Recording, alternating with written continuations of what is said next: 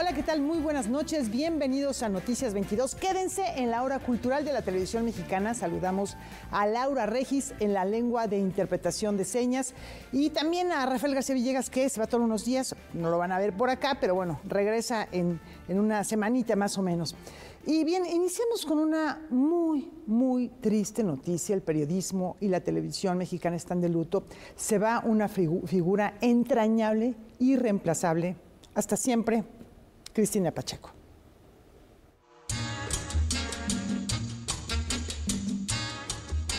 Con hondo dolor, mi hermana Cecilia y yo participamos el fallecimiento de nuestra adorada madre Cristina Pacheco.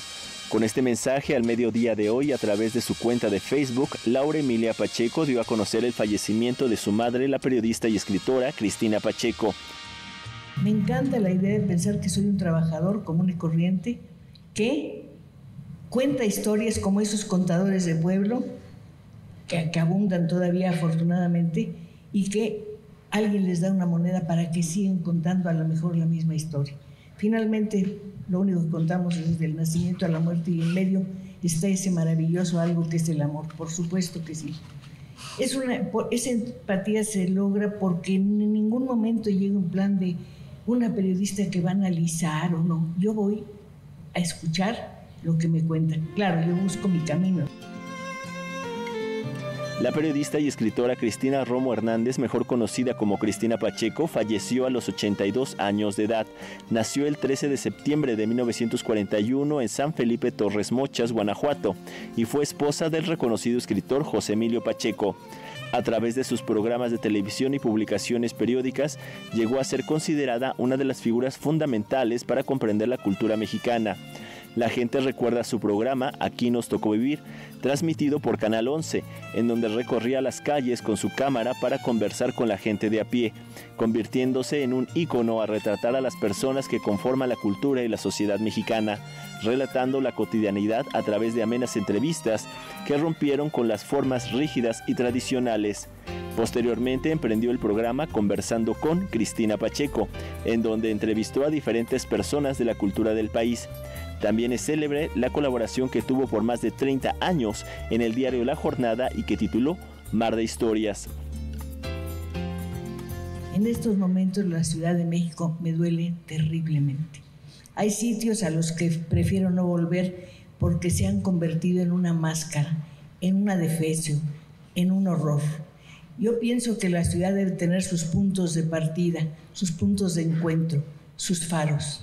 Antes era fácil, muy fácil, con la ayuda de la gente, por supuesto, nada más con la ayuda de la gente, entrar a ciertos lugares que ahora lamentablemente están tomados por la delincuencia, por los narcotraficantes.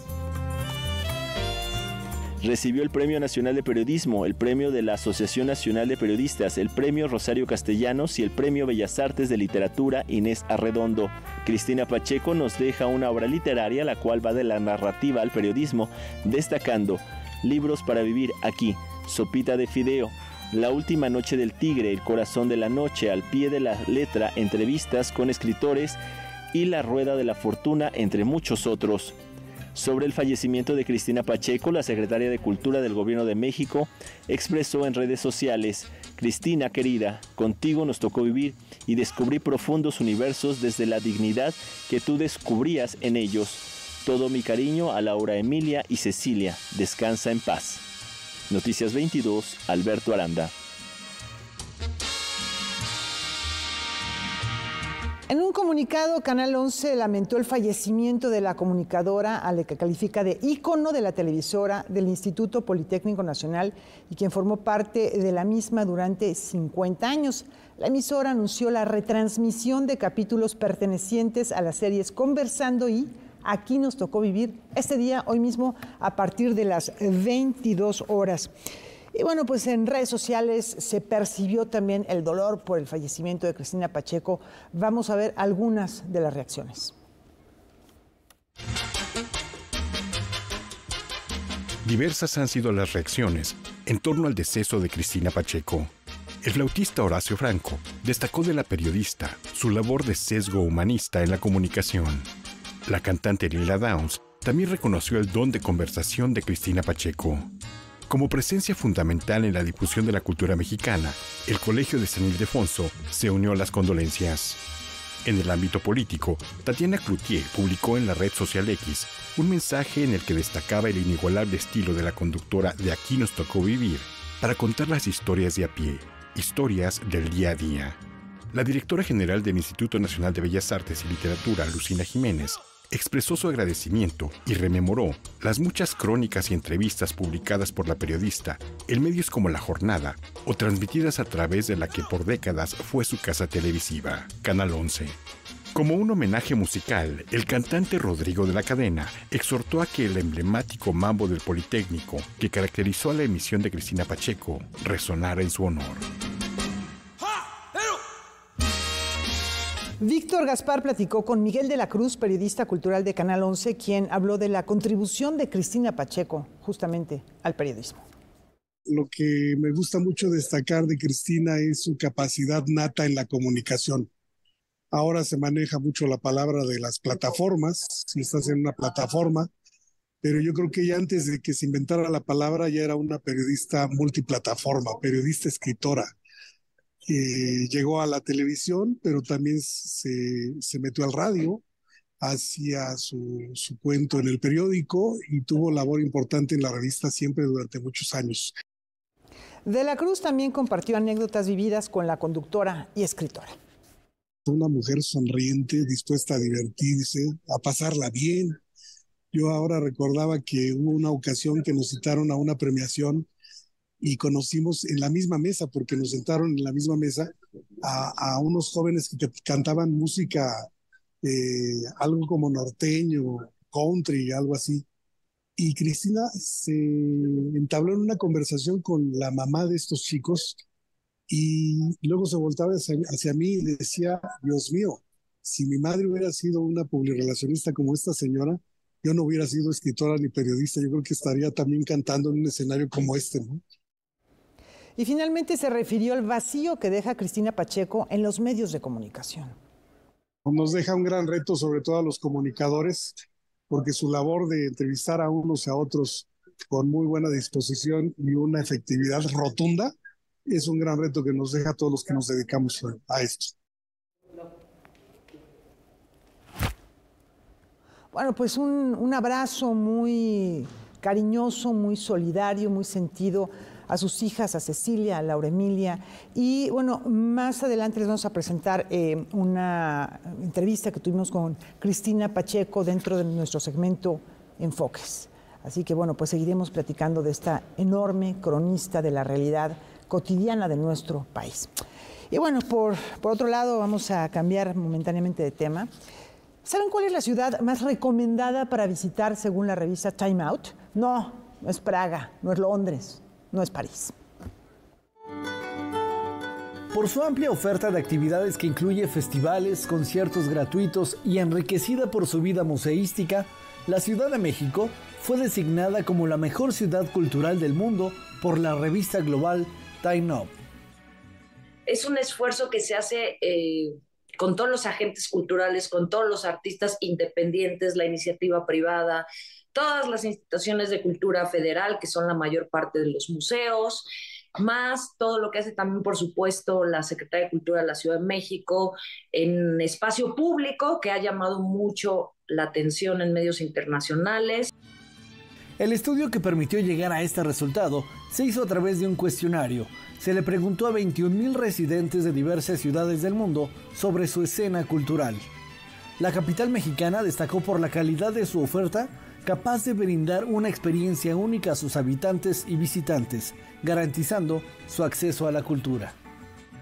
Uno de los criterios de, esas elecciones que era una oferta muy accesible, que en otros lugares, pues los museos son, en Londres, pues es el lugar con más museos, pero son museos muy caros. Entonces, la accesibilidad de la oferta cultural de la ciudad, ¿no? de nuestros museos y de la oferta gratuita que hacemos eh, masiva, pues es lo que ha llamado mucho la atención a nivel internacional.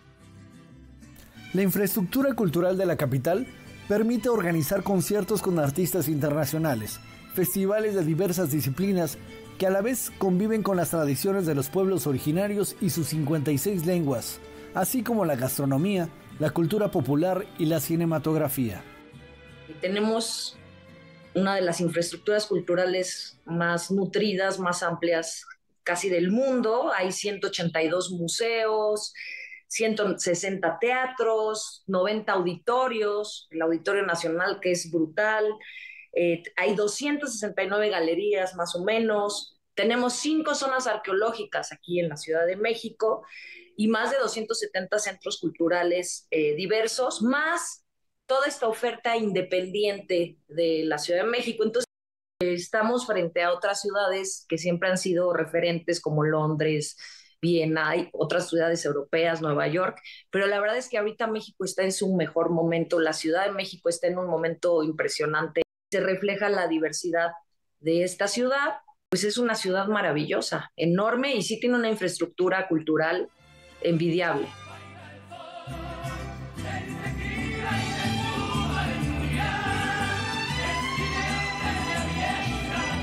Con centenar y medio de puestas en escena, Teatro Casa de la Paz cierra el 2023 y ya prepara su programación para el próximo año.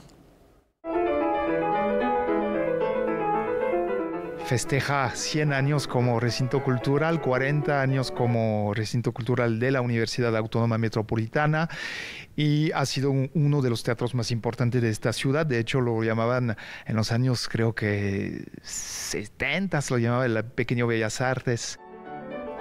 Durante 10 años se le sometió a un proceso de restauración estructural. 2022 marcó su regreso y ha elaborado desde entonces con nuevos interiores y contenidos.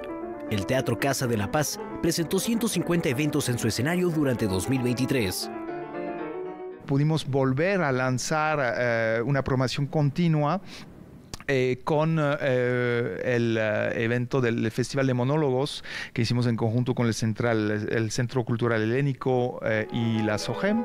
Y también tuvimos constantemente eventos de, de, danza contemporánea, de música. Hay un piano muy famoso aquí que es un Steinway de 135 años. Entonces nos dimos cuenta que los mismos pianistas mexicanos y a veces internacionales buscan este piano y quieren tocar aquí. Entonces dimos también un, un espacio importante eh, para la música y música clásica. La mitad de sus propuestas han sido de acceso gratuito. Se establecieron vínculos con el Sistema Nacional de Fomento Musical y con recintos como el Centro Cultural Olinjo Listli.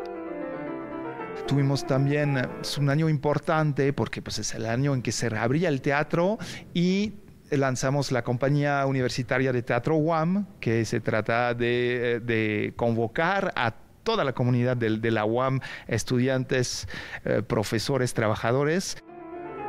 Con esta agrupación se estrenaron dos propuestas, Atracciones Lear y Oficinas Eficientes. Para Arnaud Charpentier es fundamental mantener la participación de la comunidad universitaria, el talento UAM. Y también tener todo un programa de taller y de formación eh, actoral y formación escénica, formación musical. Es eso que vamos a lanzar el próximo año.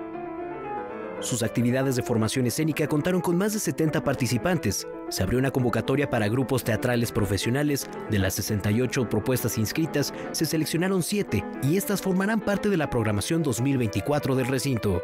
Para Noticias 22, Rodrigo Peredo.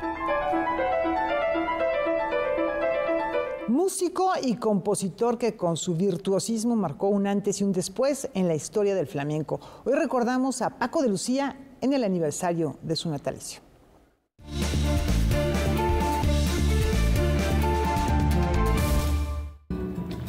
Cuando en el mundo se habla de guitarra flamenca, irremediablemente se piensa en Paco de Lucía, quien nació el 21 de diciembre de 1947 en Algeciras, España. Su padre fue un gran aficionado de la guitarra y en las fiestas locales era conocido como Antonio de Algeciras, así que acercó a sus hijos al medio musical.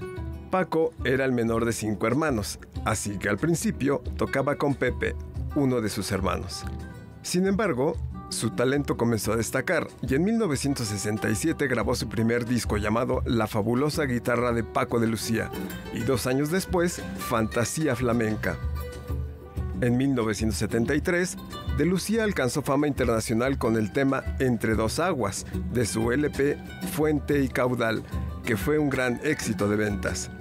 Muchas veces participó con su colega estadounidense Aldi Meola Incluso, ambos realizaron una serie de conciertos con Santana en el Teatro Real de Madrid en 1975.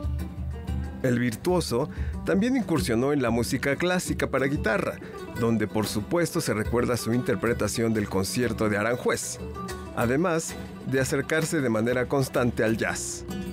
Se casó en un par de ocasiones, la segunda vez con la mexicana Gabriela Canseco y vivió sus últimos años en Playa del Carmen, Cancún, lugar donde murió el 25 de febrero de 2014 a los 66 años de edad. Noticias 22. La vieja leyenda negra de las Islas Marías se ha transformado gracias a la cultura. Vamos a conocer el centro que le ha dado un nuevo rostro. Más de 5.000 visitantes conocieron el centro turístico Islas Marías en su primer año. Las Islas Marías anteriormente tenían una función de un complejo penitenciario. Hoy en día es un destino turístico. Es un destino al cual todos y cada uno, tanto nacionales como extranjeros, pueden visitarlas. Pueden visitarlas eh, utilizando los ferries que hoy en día salen tanto de San Blas, Nayarit, como de Mazatlán, Sinaloa. La primera aventura comienza a partir del viaje marítimo. Se recorren 140 metros para llegar al archipiélago compuesto por cuatro islas. Pero en esas cuatro horas, si eres muy sortudo así como tú, Oscar, van a poder avistar ballenas, delfines, tortugas, porque es un trayecto largo, es el Pacífico. A su llegada, lo recibirán con alimentos de buena calidad tipo buffet y se hospedarán donde vivían los colonos y vigilantes. Se respetó ese espacio para que se dieran un poco cuenta que eh, cómo, cómo vivían esas personas en ese momento. Desde luego que cuenta con todo el confort ahorita, ¿no? Durante tres días y dos noches, los visitantes pueden descubrir las especies de flora y fauna endémicas, como el loro cabeza amarilla y el conejo de las Islas Marías, durante los recorridos a esta reserva de la biosfera y patrimonio natural de la humanidad. Es uno de los atractivos que tenemos allá en las Islas Marías, este penal de máxima seguridad llamado Laguna del Toro. Y te van a incluir también los recorridos. Todos estos de los que te he platicado, vamos a ir al Cristo, vamos a ir al Faro, vamos a ir a Punta Halcones, vamos a ir al Panteón, están incluidos dentro del precio que se estás pagando. Con motivo del primer aniversario, la empresa turística integral Islas Marías ofrecerá nuevas actividades. Tenemos nuevos recorridos como Noches de Leyendas, tenemos también una actividad que se llama Un día siendo marinero y astroturismo en las Islas Marías. Vamos a sorprender a los turistas con un club de playa. El próximo año, perdón, 2024, vamos a entrar muy fuerte con eventos deportivos para todos aquellos amantes de la naturaleza y el deporte. Toda la información relacionada con este destino turístico se encuentra disponible en las redes sociales y en la página de Visita Islas Marías y Islas Marías es el lugar ideal para encontrarse y recrearse. Noticias 22, Oscar Cortés. Las rejas del Senado sobre Paseo de la Reforma presenta una exposición del revolucionario más fotogénico de México. 2023 fue declarado el año de Francisco Villa en ocasión del centenario del asesinato del Centauro del Norte.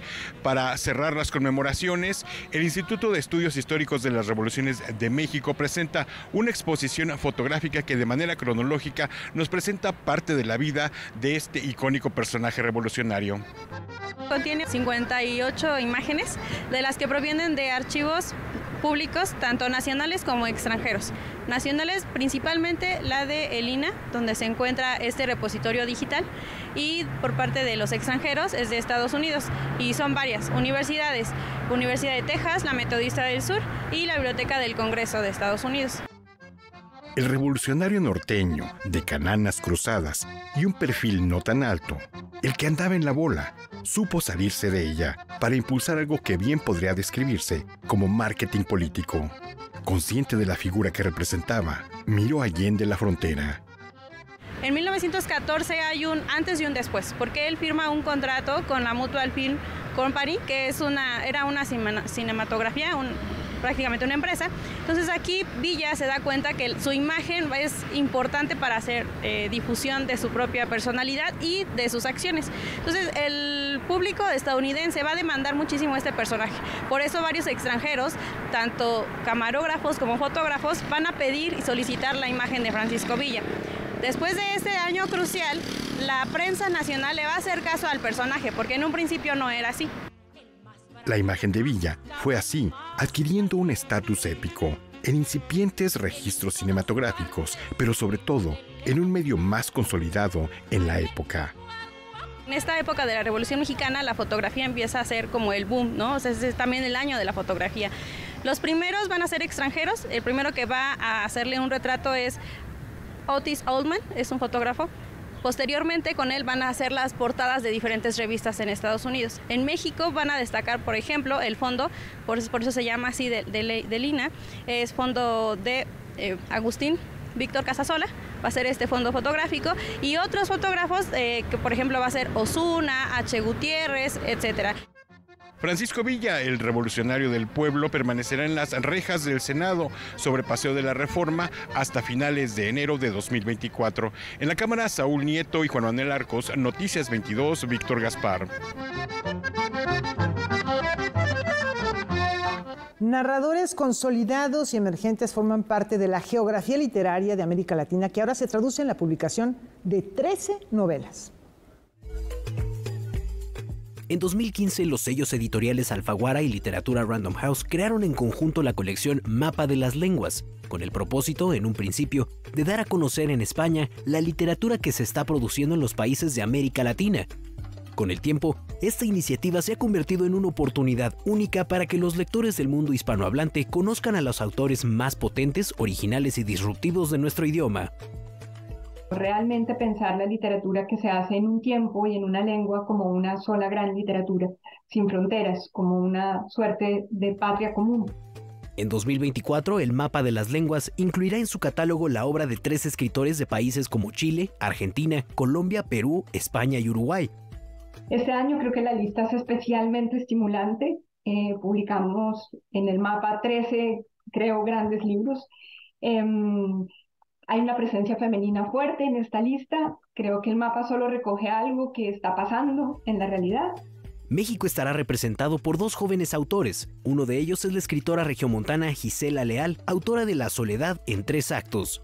Es la historia de una familia que, que nace de los restos de errores pasados y que, como la mayoría de las familias, se gesta con la mejor de las intenciones pero que conforme va avanzando se, van perdiendo en el camino, ya sea por malas decisiones o por grandes ambiciones.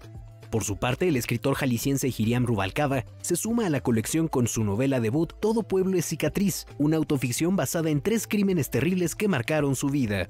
A partir de estos tres crímenes, la novela emprende una, una exploración sobre las transformaciones que ha padecido México en materia de violencia, el incremento de los homicidios y sobre todo cómo ha cambiado nuestra manera de entender la muerte en un país de asesinados. A partir de enero se comenzarán a lanzar de forma escalonada y en prácticamente toda América Latina los 13 títulos que conforman la edición 2024 del Mapa de las Lenguas. Con información y texto de César H. Meléndez, Rodrigo Peredo, Noticias 22. Hagamos una inmersión al antiguo Egipto y veamos cómo renace la leyenda. El faraón Tutankamón fue coronado a los nueve años y murió alrededor de los 18. Su tumba ha sido objeto de gran cantidad de estudios, siempre rodeados de misterio. Así nos cuenta Mark Thatcher en la exposición Más allá de Tutankamón, la experiencia inmersiva. Porque mira, a pesar de ser uno de los faraones, eh, faraones menores, su tumba fue descubierta completamente intacta. Ya habían completamente saqueado todo el Valle de los Reyes y esta tumba fue de las últimas que encontraron, si no es que la última que encontraron, pero estaba intacta, completita. Se considera que el hallazgo de su tumba fue un renacer del personaje. cuando un niño egipcio dijo, aquí hay unas escaleras, y entonces descubrieron el pasadizo que los llevó a la primera cámara del rey Tutankamón. Entonces aquí van a ver desde esa muerte hasta todo ese viaje que va por el inframundo en un barco que cruza dunas de arena, que lo lleva por el inframundo. Empezamos y contamos absolutamente cómo viene todo el proceso de momificación, qué es lo que hacían, por qué lo hacían. Y le pasaron cosas muy peculiares a este faraón que tienen que venir a ver. Sin la necesidad de ir a Egipto, aquí podrás experimentar con tus cinco sentidos las maravillas de los últimos aposentos de uno de los faraones más importantes de la historia. Para Noticias 22, Nicole Rubio. Vamos a la pausa. Al regresar, eh, les presentamos una emotiva entrevista que Noticias 22 realizó con la periodista Cristina Pacheco. Aquí un fragmentito. Tomamos la decisión ahí mismo y a los cinco minutos yo no sé cómo se enteró Pablo Marentes. Llamó al canal les dijo, díganle que vengan para acá todos, que se vengan al canal 11 a, hablar conmigo. A partir de ese momento, te digo, desde que llegué al canal, me enamoré del canal.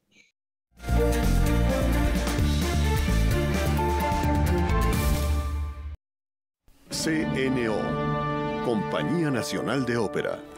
La Secretaría de Cultura del Gobierno de México y el Instituto Nacional de Bellas Artes y Literatura festejan el 75 aniversario de la Compañía Nacional de Ópera. Esta agrupación está integrada también por la orquesta y por el coro del Teatro de Bellas Artes. Inició como Asociación Civil Ópera Nacional en 1943. Cinco años más tarde, con el IMBA, comienza sus actividades como Ópera de Bellas Artes. Se ha posicionado como referente a nivel latinoamericano, siendo una de las principales compañías operísticas en donde han participado figuras como María Calas, Giuseppe Di Stefano y Plácido Domingo. Compañía Nacional de Ópera, Orgullo Inván. Secretaría de Cultura. Gobierno de México. ¿Qué queremos en México de nuestras elecciones? Procesos electorales con certeza, legalidad y limpieza en cada etapa. El Tribunal Electoral, garante de las libertades políticas, asegura un entorno de equidad y piso parejo. La justicia electoral existe para gozar de una nación igualitaria, democrática y en paz. Tribunal Electoral, protege tu voto, defiende tu elección.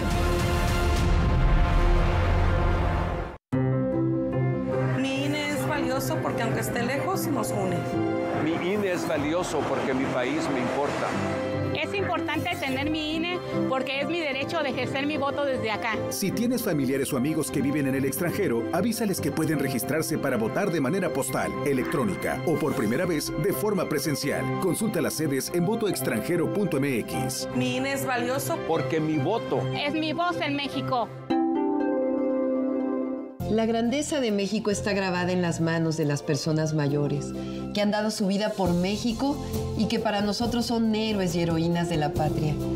Por eso reivindicamos la pensión universal que hoy es un derecho. No olvidemos que los que gobernaron antes creen que los apoyos sociales son para flojos. Que no te engañen. Volver al pasado no es opción. Sigamos avanzando con honestidad, resultados y amor al pueblo. Claudia Sheinbaum, presidenta, por la candidatura de Morena. Feliz Navidad. Quiero mandarles un abrazo enorme a todos, a los que hoy me quieren y a los que no también. A pesar de los tiempos tan difíciles que vivimos, les deseo de todo corazón que nuestras casas se llenen de alegría, que en las mesas no falte comida y que sus corazones latan de felicidad.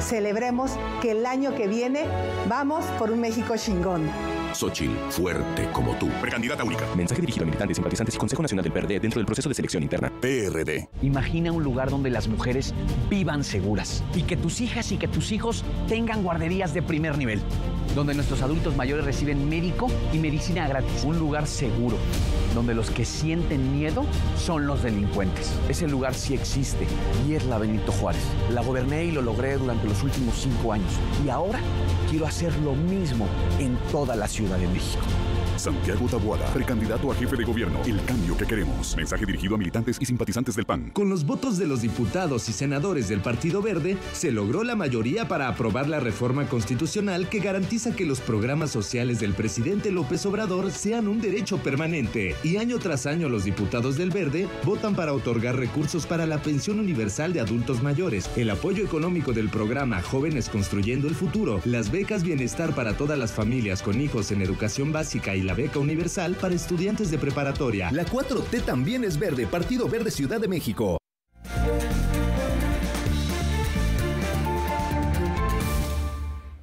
La agrupación Cienfuegos celebra una década de vida con una nueva producción discográfica en la que confluyen sonoridades de funk, jazz, rock. Vamos a ver.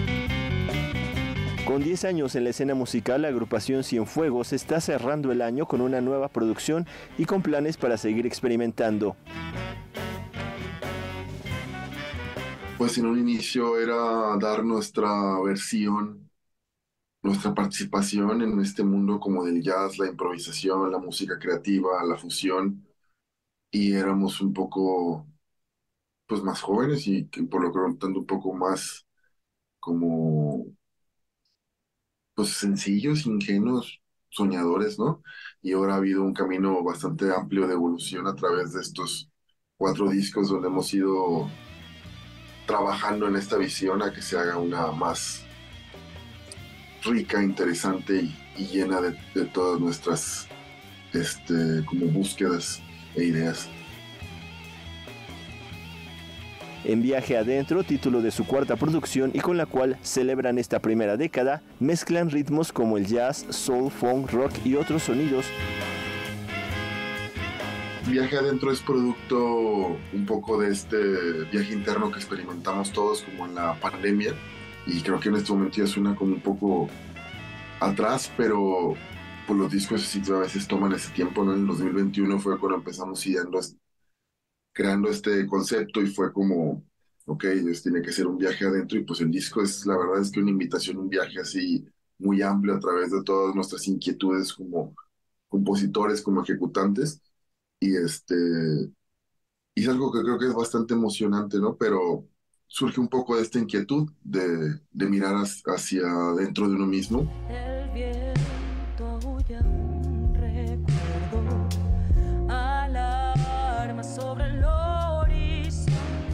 El disco está integrado por Levitando, Volando a la Luna, Entre Ruinas, La Sombra, Espiral y Oleaje. La fusión es algo que caracteriza esta producción en la cual se han incluido dos saxofones y el contrabajo para dar fuerza a la parte instrumental. Hay muchas piezas dentro del disco que tienen que ver con, con ritmos como muy, muy fuertes, como el funk, el jazz y todo esto, muy interesantes y, y tienen esta más fuerza de composición y hay otras piezas del disco que son más contemplativas, ¿no? Que son más que incluso yo a veces les explicaba a los demás como un paisaje sonoro, ¿no?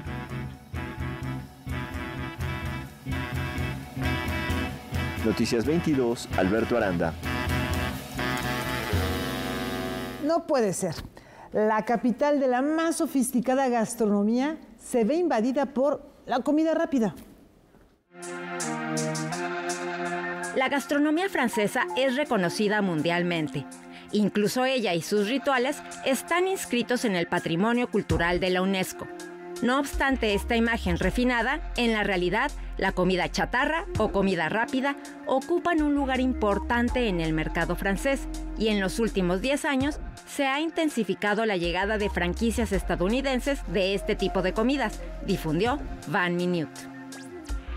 La pionera en llegar a Francia fue McDonald's en 1979. En el pasado, se necesitaban más de 10 años entre la llegada de cada nuevo gigante nacido en Estados Unidos. Kentucky Fried Chicken, por ejemplo, debutó en 1991 y Burger King en 2012. Pero en tan solo una década, franquicias como Steak and Shake llegó en 2014, Five Guys llegó en 2016 Cars Jr. en 2018, Popeyes en 2023 y Krispy Kreme, que apenas llegó en diciembre, irrumpieron en el mercado galo, en donde las hamburguesas, las donas, los kebabs y los tacos son un éxito. ¿Cuál es la razón de este logro? De acuerdo con Pierre-Louis Depré, director general de la firma especializada en marketing Chaos, las razones obvias son el precio, la accesibilidad y la rapidez del servicio. Sin embargo, no todas estas cadenas han tenido el mismo desempeño. Mientras McDonald's tiene más de 1.500 restaurantes en toda Francia, Burger King cerca de 500 y KFC más de 300. Las otras franquicias de los últimos 10 años solo han abierto entre 7 y 26 sucursales. Para el experto restaurantero Bernard Boutboul, esta lentitud se debe a que Francia se está desamericanizando, pues con excepción de las tres primeras, las otras no tienen éxito y enfrentan dificultades para establecerse. Incluso los dominantes tuvieron que adaptarse al mercado tan específico francés. Basta con mirar la estrategia de la marca número uno aquí, McDonald's, que minimizó al máximo su bandera con estrellas y se volvió extremadamente francesa, como la hamburguesa premium con cubiertos y servicio de mesa o la McBaguette, que cambió sus carteles rojos a verdes, indicó el experto. Si tantas marcas fracasan es porque el espacio ya está ocupado. Solo Burger King ha podido sumarse al carro de McDonald's y aún así con una estrategia de entrada ultra ofensiva, permaneciendo eternamente en segundo lugar, agregó Bernard Woodwood a Van Minute. Pero aún con las exigencias del mercado galo, las marcas siguen queriendo instalarse en ese territorio. Para Noticias 22, Katia León Monterrubio. Ahora veamos qué recomendación nos tiene esta noche el crítico de cine Leonardo García Sao. Adelante. Hola, ¿qué tal? ¿Cómo están? En esta ocasión, para no variar, les voy a recomendar una muy buena película mexicana. Se llama La mujer de Benjamín y fue uno de los debuts más notables de los años 90. Producida en 1991 por el Centro de Capacitación Cinematográfica, la ópera prima de Carlos Carrera significó también la primera vez que una película profesional era creada básicamente por un equipo de egresados de dicha escuela. Con un guion de Ignacio Ortiz Cruz y el propio Carrera, La mujer de Benjamín trata sobre el tedio en un pequeño pueblo mexicano y el deseo que éste provoca en alguno de sus habitantes. Entre ellos al personaje titular, un solterón aniñado que vive con su hermana mayor y secuestra a una joven mucho más mañosa. El, el, realizador debutante demostró desde entonces su aptitud para crear una atmósfera creíble, conducir su relato con soltura y sentido del humor y también para la dirección de actores. El reparto, formado por Eduardo López Rojas, Arcelia Ramírez, Malena Doria, Juan Carlos Colombo y Eduardo Palomo, entre otros, se distingue por su uniformidad verosímil. En su momento, La mujer de Benjamín fue la película mexicana que cosechó el mayor número de premios nacionales e internacionales. Esta película pasa este sábado 23 en la noche. Consulte nuestra programación para ver el horario. Y esta es mi última colaboración del año. Me despido y, y nos vemos el, en el 2024. Les deseo a todos un feliz año. Leonardo, felicidades a ti, nos vemos en el 2024. Y bien, atención, todo nuestro público Grinch, ya viene la temporada de cuentos antinavideños.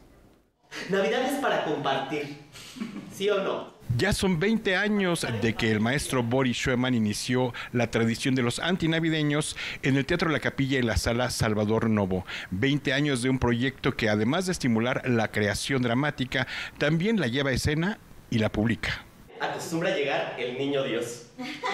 Este año eh, el espectáculo se llama Fenómenos Antinavideños, fenómenos de, de, feria, de circo, de personajes muy bizarros que, que, están padeciendo la Navidad y nosotros nos da mucha risa escuchar sus desgracias. De eso se trata los cuentos antinavideños. Eh, son tres cuentos eh, que están interpretados este año por eh, Noemí Espinosa, Fernando Villa y Emanuel Lapín, dirigidos por Daniel Bretón y un servidor. Además de los fenómenos antinavideños que se presentan en el Teatro La Capilla a las 8 de la noche, esta temporada también ofrece en la sala Salvador Novo las antinavideñitas, adolescentes que bajo la batuta de la maestra Jimena Vázquez han escrito e interpretan su espectáculo. La convocatoria de los antinavideños fue atendida por más de 60 piezas que se suman a una larga, divertida y extravagante lista de temáticas abordadas en estas dos décadas son muy dispersos, muy, muy distintos. Hemos tenido desde botargas navideñas que venían a reclutar para ver quién iba a ser la mejor botarga navideña. Eh, hemos tenido pavos, bacalaos sacrificados eh, que venían a contar su triste desgracia. Incluso tuvimos un chichifo que se ligaba a Santa Claus en reforma eh, la noche navideña. Hemos tenido de todo. La tradición escénica en temporada navideña está representada por pastorelas y por un fervor de armonía, paz y amistad que los antinavideños abordan con algo de irreverencia y que han permitido llevarlos a otros lares. Cuando llegué a México había en esas fechas puras pastorelas que se presentaban. Entonces, este, pues creo que una vez que has visto una, ya entendí un poco por dónde va. Luego hubo la antipastorela y, y ahora están los cuentos antinavideños que realmente se han creado y se han montado en muchas partes de la ciudad y luego eh, los hemos exportado en, eh, en, Durango. Ahorita hay un espectáculo, se han presentado en Zacatecas, se han presentado en Costa Rica, me los han pedido para Paraguay. O sea, hay, realmente ha hecho bola de nieve Conocí a Cristo, conocí a Christopher. Esta temporada 2023 de los cuentos antinavideños en el Teatro La Capilla y la Sala Salvador Novo irá del 20 de diciembre al 30 de este mismo mes, con excepción del día 24. Toda la programación está disponible en el sitio electrónico que aparece en pantalla. En la cámara, Saúl Nieto y Enrique Varela, Noticias 22, Víctor Gaspar. ¿Quieres ser mi novio? El 23 de septiembre de 2021, Noticias 22 tuvo el privilegio de compartir una charla con la periodista Cristina Pacheco. Esta noche queremos recordar esa conversación a manera de homenaje.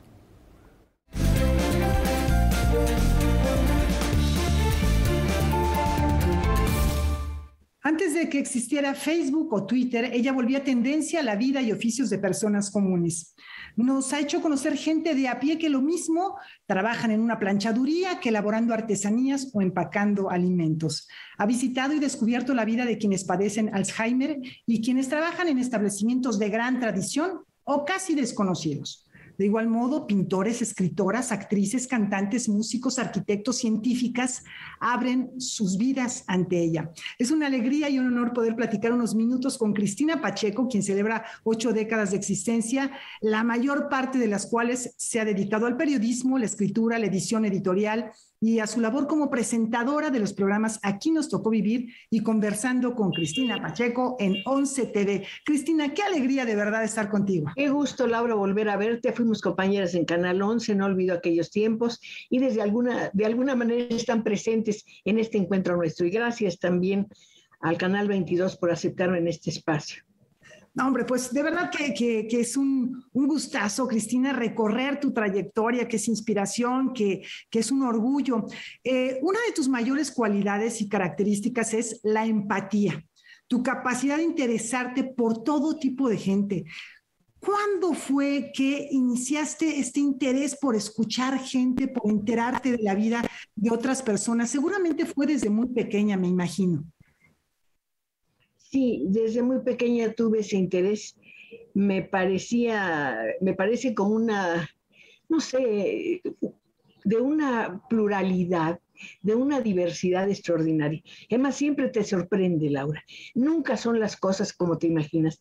De pronto te encuentras con alguien, empiezas a conversar y a partir de ese momento, por alguna razón, empiezas a conocer algo de su vida, una vida que no imaginabas y que de pronto empiezas a vivir. Son encuentros mágicos, de verdad. Después ya profesionalmente como periodista, siempre me interesó hacer ese tipo de historias escritas. Eran invenciones, no eran, no eran realmente entrevistas, eran cuentos que yo ponía en forma de entrevistas para que me las publicaran en la revista Sucesos para Todos. Entonces fue una experiencia muy buena muy grata y muy aleccionadora, porque como nadie sabía que era yo, ya que la columna estaba firmada con un nombre de hombre, pues me sentía completamente libre y sin temor a ser juzgada o, o que dijeran, bueno, porque esta mujer se pone a escribir si no sabe o, o nunca está de ninguna parte. Así que fue un entrenamiento de tiempo completo. Bueno, tú estudiaste en la Facultad de Filosofía y Letras de la UNAM. Ahí ya fue una formación profesional. ¿Nos puedes platicar de aquellos años? Fue una, yo estudié letras españolas. Tuve la fortuna, además de trabajar en la universidad mientras fui estudiante, y no solamente trabajar, sino precisamente en el décimo piso, que era difusión cultural, a donde llegaban todos los escritores de todas partes. Entonces, como yo era secretaria, me dejaban sus textos para que yo los pasara a máquina. Eso en la mañana. Y en la tarde, en la Facultad de Filosofía, pues muchos de esos escritores que había visto en la mañana, en la tarde eran mis compañeros, algunos de ellos, no todos. Entonces era una especie como de retroalimentación formidable. Eh, en la mañana no podía conversar con ellos porque pues, yo estaba haciendo mi trabajo, pero en la tarde sí, Laura, y aprendí muchas cosas de ellos y, me enseñaron, me orientaron en mis lecturas, por ejemplo. Ah, nunca dije que quería escribir, ni mucho menos, pero yo los escuchaba. Y eso para mí era como que iba yo puliendo mis ansias de, de eh, escribir historias, ¿no? Veía cómo hacían una cosa, cómo hacían la otra, qué leían, que eso es muy importante. Y desde luego la conversación directa fue pues un regalo, una situación de muy buena suerte, ¿no? Cristina, eh, entonces tú empiezas a, colaborar en periódicos, en revistas, estudias en la UNAM. Es en ese momento cuando conoces al maestro José Emilio Pacheco. ¿Nos puedes platicar o nos quieres platicar algo de, aquel encuentro? Tengo que decir que en la facultad yo fui un día nada más compañera de José Emilio en una clase de latín. No sabía quién era ni nada. Y el maestro le dijo, mire, usted sabe demasiado latín, mejor váyase al, otro curso y que se queden aquí los que están empezando. Nada más ese día lo vi. Pero era mi amigo y lo veía yo en el café de la facultad, que era un lugar fantástico, a Carlos Monsiváis. Él se acercó a mí un día y empezamos a conversar y nuestra, nuestra amistad fue de, pues, de 40 años o más, ¿no? Pero entonces Carlos también era muy amigo de José Emilio y yo no lo sabía. Y de repente nos encontrábamos en el campus y, un día nos presentó Carlos y dijo, mira, te presento a mi compañera Cristina ya. Entonces José Emilio me dijo, ojalá que nos volvamos a ver, pero pensé que era una cortesía. Meses después, no meses después, sí, semanas después tal vez, eh, empezó a ir al décimo piso de la universidad porque iba a dejar sus colaboraciones para la revista de la universidad y me las entregaba a mí para que, como te digo, se las pasara a Maqui. Y no sé, pasamos así mucho tiempo, y yo le llevaba el café, como a todos los eh, colaboradores de la revista, y un día me tocó eh, organizar, más bien participar en una exposición muy grande sobre Picasso. La hicimos en la universidad, yo como secretaria, no creas que yo fui la, la curadora ni nada, al contrario, ahí estaba presente Raúl Ortiz, que fue un hombre extraordinario. Entonces, eh, hubo un cóctel José Emilio igual cóctel, pero a mí no me daban permiso de llegar tarde en mi casa. Entonces, antes de las nueve, yo dije, me tengo que ir. Le dije al, director de difusión cultural, que era Enrique González Casanova, me tengo que ir. Pero ya era tarde, Laura, y estaba muy oscuro el campus, pero ni siquiera tenía miedo, nada. creíamos que nunca nos pasaba nadie. Qué, qué buenos tiempos en ese sentido. Entonces José Emilio salió y me dijo, este, ¿se ir sola? Le digo, sí, ¿por qué? Está muy oscuro, no quiere que la acompañe a que tome el camión. Me acompañó. Mientras caminábamos empezamos a conversar, nos fumamos un cigarro, empezamos a caminar, llegamos a, donde era la parada, no llegaba el autobús y me dice, bueno, ¿por qué no avanzamos un poco más? Empezamos a caminar por insurgentes con el ánimo de hacer una caminata de tres o cuatro cuadras. Pero la caminata se prolongó toda insurgentes hasta que me llegó a mi casa y desde ese día nunca volvimos a separarnos. Ay, qué, qué hermosa historia. Es muy bonita. Eh, de, riqueza personal y profesional.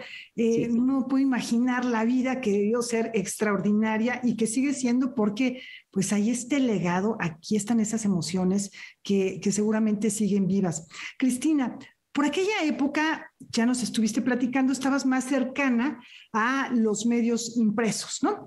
Al, periodismo y a la narrativa, pero en medios impresos. ¿Cuándo descubres el potencial de los medios electrónicos y seguramente te enamoras para incorporarte a ellos? No, yo me enamoré concretamente de Canal 11, pero no empecé en Canal 11, empecé en Canal 13, en un noticiero que se llamaba Siete Días, que pasaba los domingos y había, éramos muchos colaboradores, cada uno hablaba un poquito, estaba Pedro Campos Ramírez, estaba Rita Eder, estaba Emilio Carballo, éramos muchos. Y eh, cada, te digo, cada uno tenía unos minutitos, cinco minutos para hablar. Ahí tuve la primera experiencia con la cámara, fue muy difícil, no por nada, sino que me daba, me daba terror. La primera vez no me dio terror, la segunda sí. Tanto que me quedé paralizada de la boca y no podía hablar y frente a mí estaba José Ramón Fernández, porque era un noticiero, y me hacía señas y me decía, habla. Y Carmina Martín me hacía así, y yo trabada de las mandíbulas. Entonces me puse a llorar, típico. Cuando terminó el programa, ese hombre del que te hablé hace un momento, Pedro Campos Ramírez, que había estado tras de mí, un gran periodista y un hombre extraordinario, me dijo, te voy a dar un consejo. Yo soy muy viejo, más viejo que tú y te voy a recomendar una cosa no hagas nada que te haga sufrir. Nada, aunque te interese. Hoy lloraste, bueno, tienes razón, pero no pasa nada. No es un desastre, te equivocaste, es natural, estás empezando. Pero piénsalo. Si haces algo que te dé felicidad, y si me permites, yo siempre voy a estar parado detrás para sentir que te estamos acompañando. Todos me dieron un apoyo extraordinario. Al tercer día fue muy bueno pasamos ahí un tiempo, hubo una situación muy desagradable en el Canal 13 de censura de la que no pienso hablar. Pensamos todos que, y se fue el director del noticiero, que era Guillermo Jordán, entonces pensamos todos que debíamos irnos también.